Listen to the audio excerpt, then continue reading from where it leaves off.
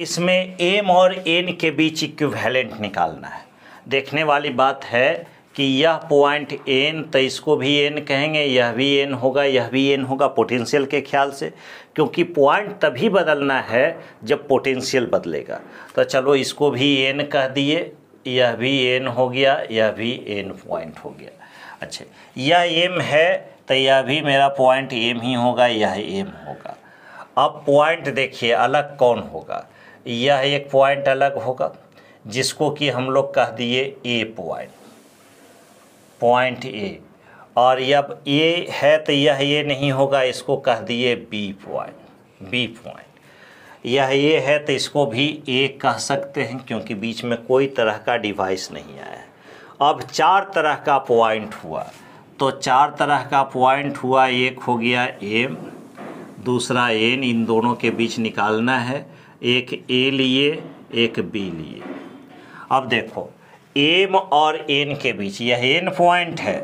M और N के बीच एक कैपेसिटर फोर माइक्रोफ्राड का तो एम और एन के बीच अभी रहने दो, इसको नहीं लिखें।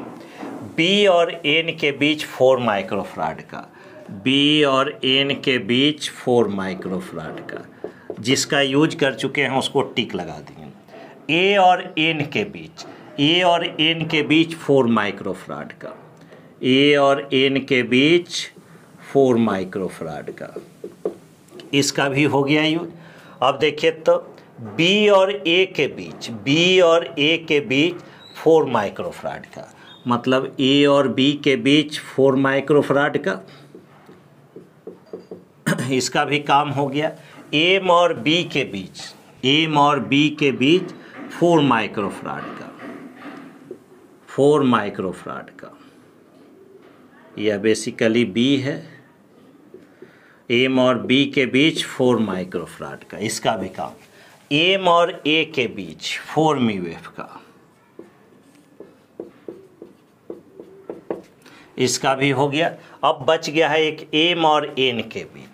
तो एम और एन के बीच हम लोग, ये कैपेसिटर है एन की सेल समझ जाना।